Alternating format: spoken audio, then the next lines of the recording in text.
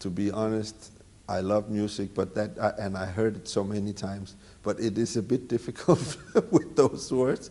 Uh, so I will do my best to, to learn it before we play the first uh, qualification match, but I need a bit of practice first. Uh, that's also why we do this in English, because uh, um, I can speak German, but it goes so slow that it would be a horrible thing for everybody if they played the national anthem that slow, so I could follow it right now. But I will practice, I promise. So when we play the first qualification match, I will sing with the rest of the group.